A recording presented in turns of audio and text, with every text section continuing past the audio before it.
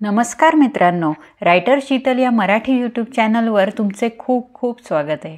मित्रांनो मागे मी असे एक चार पाच व्हिडिओ टाकले होते ज्याच्यामध्ये तुम्हाला वर्तमानपत्रात लेख पाठवायचे होते आणि ते लेख जर सिलेक्ट झाले तर त्याच्यामध्ये छापून येणार होते.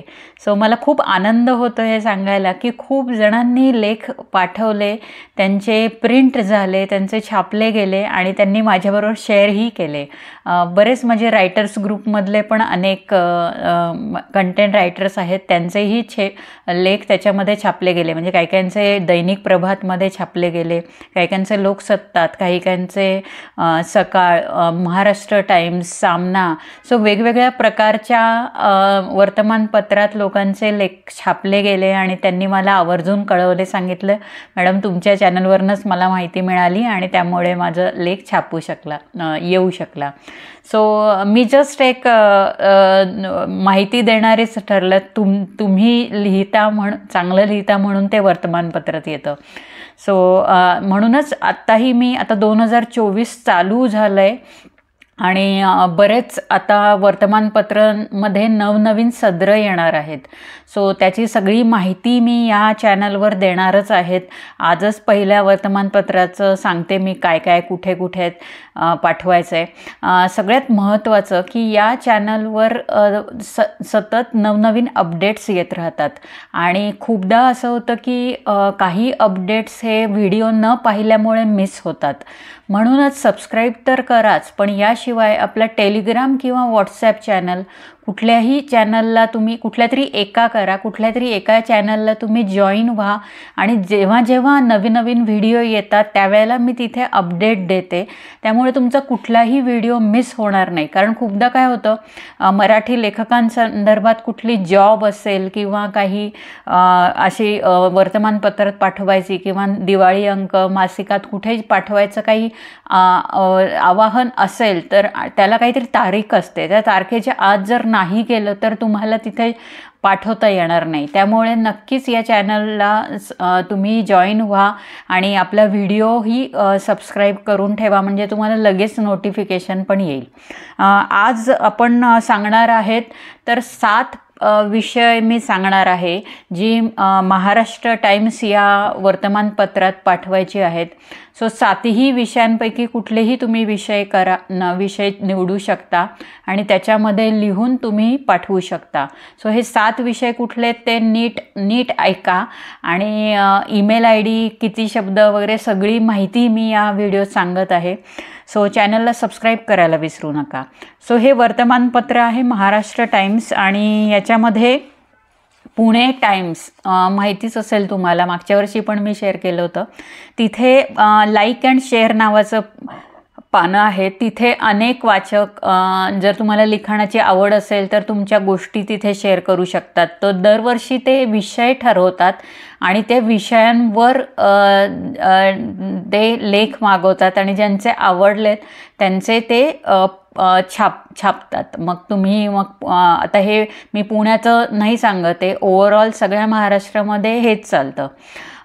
तुम्हाला आता पहिला प्रश्न की तुम्ही जेव्हा पाठवता तर त्यांचा काही रिप्लाय वगैरे येतो का? तर महाराष्ट्र टाईम्सचा कुठलाही रिप्लाय येत नाही. पण जर त्यांना आवडलं तर ते आवर्जून एक साधारण त्या आठवडाभरात जर तुमचं त्या वर्तमानपत्रात आलं तर ते सिलेक्ट झालं आहे असं समजायचं. जर नाही आलं तर दुसरा विषय लिहायला घ्यायचा आणि नंतर परत पाठवायचं.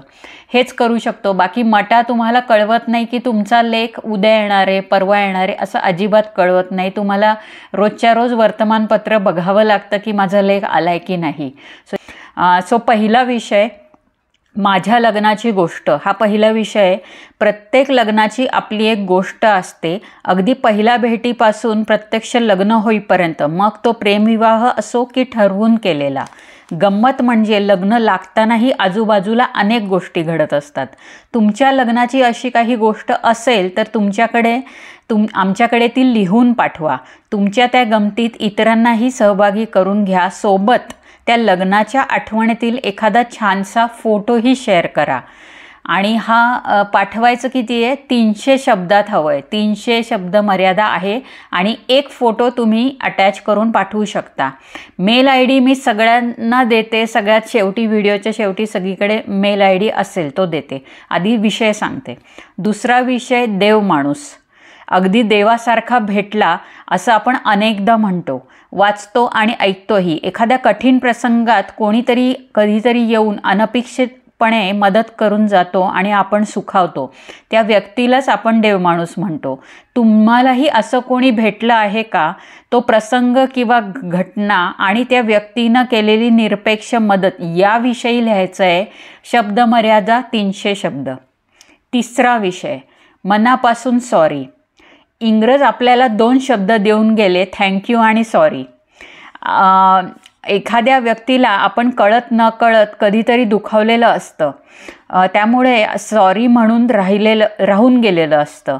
क्षमा मागितल्यानं मन मोकळं होतं असं म्हणतात. तुम्हालाही तुमचं मन मोकळं करायचं असेल तर हे सदर खास तुमच्यासाठी. कोणाला सॉरी म्हणायचं राहिलं असेल तर वर्तमानपत्रात म्हणा. एक शंभर टक्के तुम्हाला माफी मिळेल.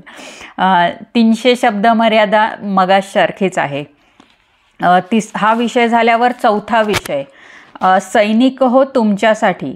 कधी उंच पर्वतावरच्या पोस्टवर शत्रूच्या गोळ्या झेलून केलेले सी सीमेचे रक्षण कधी हाडे गोठवणाऱ्या थंडीत बंकरमध्ये काढलेले दिवस. सैनिकाच्या आयुष्यात अशा अनुभवांचा खजिनाच असतो. तुम्ही सैनिक असाल तर एखाद्या प्रसंगाविषयी तुम्हीच लिहा.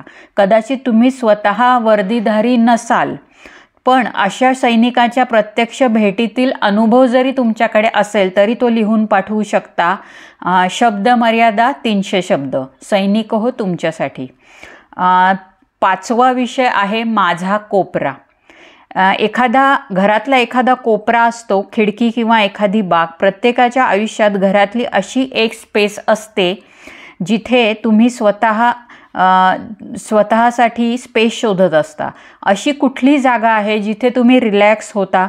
तुमच्या या खास स्पेसविषयी तिथल्या अनुभवाविषयी लिहा. सोबत तुमचे नाव तुमचा फोटो राहण्याचे ठिकाण शक्य असल्यास त्या स्पेसचा फोटो शेअर करा. सो या सगळ्या गोष्टी करायच्या आहे कुठलंही सदर लिहा ईमेलच्या सब्जेक्टमध्ये त्या नाव म्हणजे आत्ता जसं म्हणलं माझा कोपरा.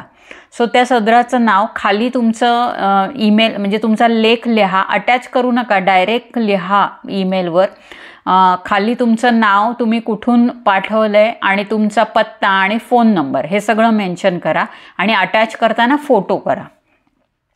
सहावा विषय आहे चित्राची जागा. हे सदर खास लहान मुलांसाठी आहे. यांच्यातील चित्रकाराला उत्तेजन देण्यासाठी तुम्ही काढलेले चित्र फोटोसह तुम्ही पाठवू शकता. चित्र स्वतः काढून रंगवलेले हवे. आठ ते चौदा वयोगटातील मुलांना या सदरामध्ये सो नोंदवता येईल. चित्रासोबत तुमचे नाव शाळेचे नाव मुलाचा फोटो अवश्य पाठवावं. आपले लिखाण तीनशे शब्दात हवं आहे सो मुलांचंही ते करतायत. त्यामुळे चित्रांची जागा हे लहान मुलांसाठी सदर. आहे चित्र काढा आणि लिहूनही पाठवा. ईमेल आय डी पण पाठवते. तो पण सांगते सगळ्यांना. त्याच्यानंतर अजून एक विषय आहे.